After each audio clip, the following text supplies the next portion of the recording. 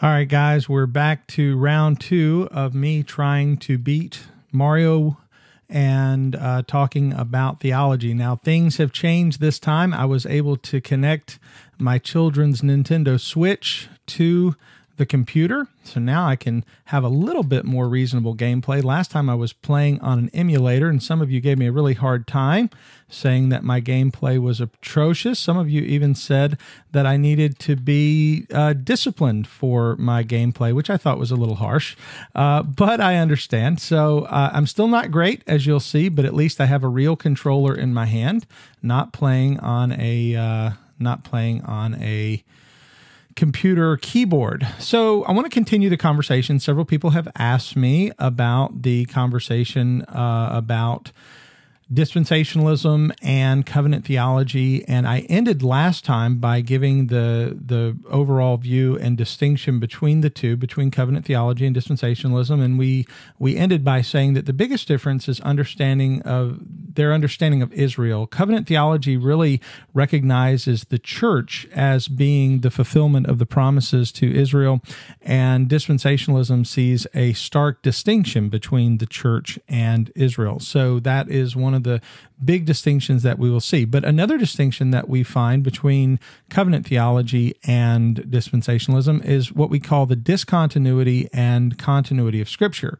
So we would say that uh, covenant theology focuses a great deal on the continuity of Scripture, that the the the things of the Old Testament continuing into the New Testament, the continuation of the the old covenant system into the new covenant system, uh, and then we have. Uh, let's see here. Sorry, I had to pause the game there for a second, but uh, now we're back, and we were talking about the continuity and discontinuity of Scripture, talking specifically about dispensationalism, dispensationalism, and covenant theology.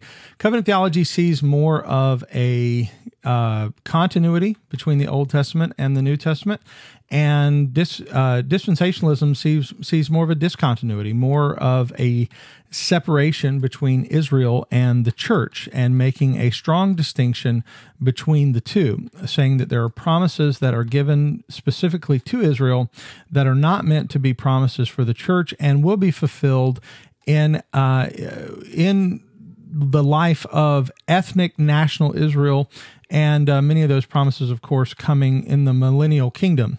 So that is uh, the view of dispensationalism and covenant theology. But as I said in my last video, there is a third view. There are actually more views, but there's there's another view that I I want to uh, bring out, and uh, I'm dying here. Oh no! And I don't have as many men this time, so this this video may not last as long.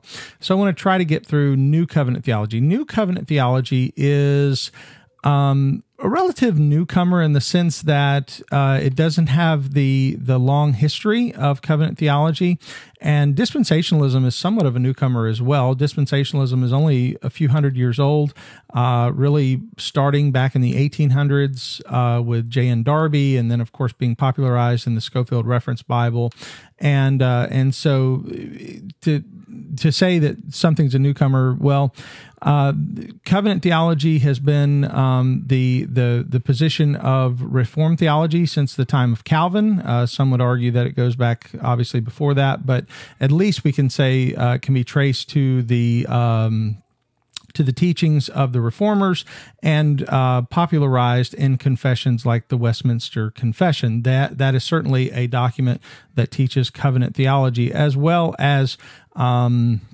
the uh, the 1689 London Baptist Confession holding to a Baptist version of covenant theology. So covenant theology, of course, is taught there.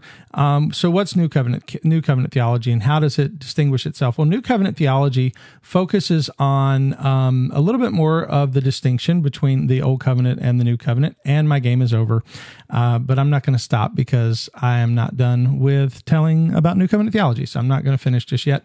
Start over and see if I can do better this time. So, the uh, New Covenant theology focuses on, uh, obviously, on the New Covenant. Some people think that New Covenant theology is like new covenant theology, like it's still covenant theology, but it's just a newer version of it. That's not exactly the best way to think about it. And in fact, that can be often somewhat difficult. As we talked about last time, covenant theology looks at the covenants of uh, that are unnamed, specifically the covenant of uh, works, the covenant of grace and uh, the covenant of redemption, which was made before time. Those are the covenants that are focused on in co- classic covenant theology. But uh, this is hard. I become invisible when I when I get when I go back to being small. Uh, so classic covenant theology would see. Um, classic covenant theology would say uh, there are three covenants unnamed in Scripture, but they are the covenants that we need to focus on, and that is the covenant of redemption, covenant of works, covenant of grace. But New Covenant theology would focus more on the actual named covenants of Scripture, and those would be uh, beginnings uh, actually with the Noahic covenant. The first covenant mentioned in Scripture is the Noahic covenant. Now, there are those who argue for a covenant with Adam in the garden, and uh, that is debated between New Covenant theologians and uh, progressive covenantalists uh, hold to a view called the creation covenant, which uh, progressive covenantalists is are are are is is is a a newer version of New Covenant theology, and they would say that uh, there was a covenant with Adam in the garden, and they and that covenant language existed there. Uh, but a lot of New Covenant theologians uh, were opposed to the term covenant of works. They were opposed to the idea of Adam uh, uh, and the idea of the covenant of works. And so the covenant of works is not a framework built into New Covenant theology. New Covenant theology, though, really is focused on the um, distinction between the New and the Old Covenant in regard to the law. One of the things about covenant theology that's very important is the understanding of the law, the the the particularly the Ten Commandments, the the covenant theologians see the Ten Commandments as being the moral law of God, uh, and and that all moral law essentially coming out of the Ten Commandments. If you go through the Ten Commandments, you'll find within them. Uh, according to covenant theologians, you'll find the basis for all moral law, and and that would include, um, let's see, um, like for instance with the the do not commit adultery uh, commandment they would say well do not commit adultery includes all kinds of other sexual sin and all sexual sin falls under the category of do not commit adultery. And so it's not just about adultery it's it's a framework. And so um, you know honoring your father and mother is actually not just about your father and mother it's actually about all authority. And therefore when you when you disobey for instance, a lawful command of the government, you're violating the fifth commandment because the fifth commandment is not just about mother and father, but it's about authority. So that's an important distinction to be made within covenant theology. Is they they put a, a very important, uh, uh, a very important. Uh, emphasis on the Ten Commandments. And where the distinction really lies then is w- with the Sabbath, because a lot of uh, those who hold the covenant theology hold to a Sabbath view, not a Saturday Sabbath view, though a lot of them hold to Sunday as the Sabbath. And so they would argue that the Sabbath is now for Christians on Sunday. I did a, a, debate on this. If anybody's interested in listening to my debate, you can actually go to our website for our church or our YouTube page, rather, Sovereign Grace Family Church on uh, YouTube, SGFC Jax, and you can find, just look up Sabbath debate. You will find it there and uh, we we debated that. Me and Rob Ham, who is a Presbyterian pastor, he took the position that Sunday is the Christian Sabbath, and I took the position that it is not. So um, I believe Sunday is the Lord's Day, but I don't believe that it holds the same restrictions as the Christian Sabbath. So anyway, getting back to the law, New Covenant theology really is is focused on understanding the law as a whole uh, rather than seeing the Ten Commandments as the moral law and then seeing the law as being a tripartite law, and that that's another thing that covenant theologians hold to. They hold to the law being three parts: uh, moral, civil, and ceremonial. And if you take the moral law uh, that's the Ten Commandments, the civil law or the laws given to Israel to live and function as a society. And then if you take the uh, the ceremonial law, that would include sacrifices and things like that. All of those things that, of course, are fulfilled in Christ. We are told that those things represented Christ, pointed forward to Christ, and all those things. So, so that's the that that's the the trifold view of the law, uh, moral, ceremonial, and civil. And New Covenant theology says no, it's it's all one thing. It's all law, and the whole law has been abrogated in the New Covenant.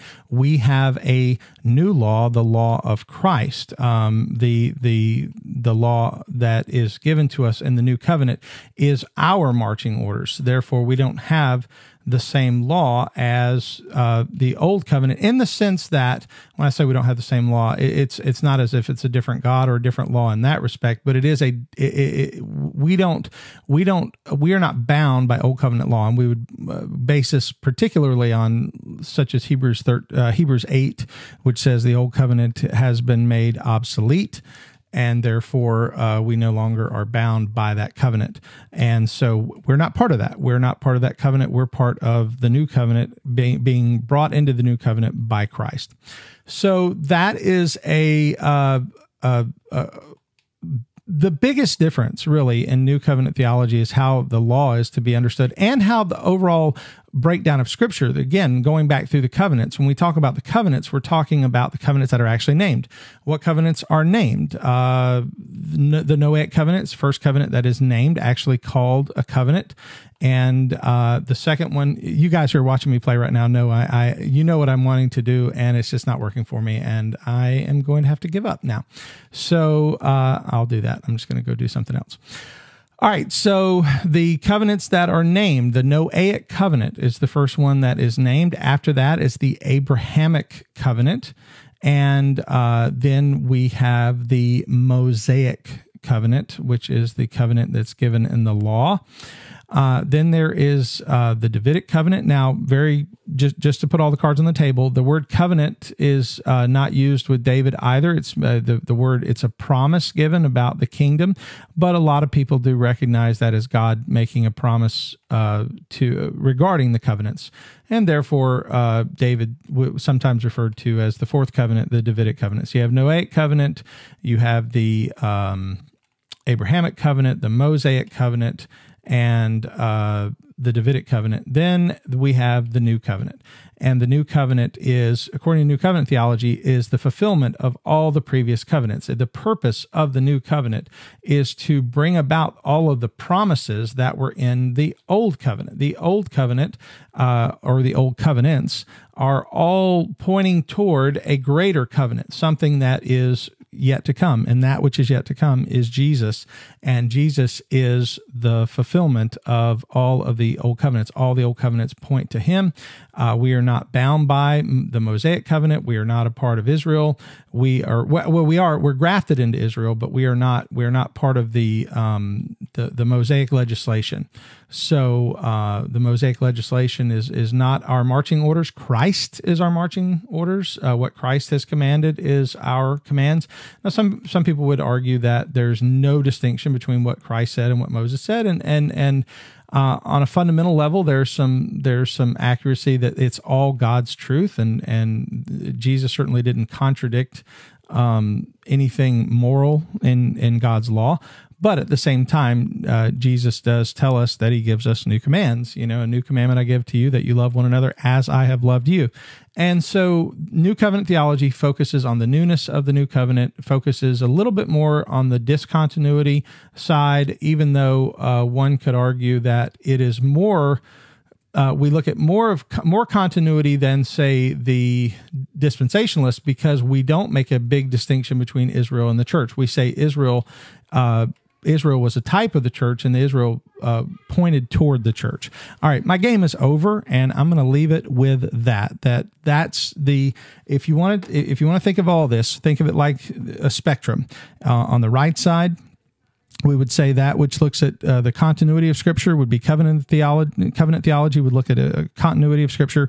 Dispensationalism would be more discontinuity. And new covenant theology and progressive covenantalism would be somewhere closer to covenant theology but less uh, than than the full uh, continuation. So I hope this video was helpful. Hope it was fun to watch. I did a little bit better. Still didn't do great. Uh, make fun of me in the comments if you like, because my gameplay is awful. But I'm going to keep trying to win this game while I teach theology. God bless.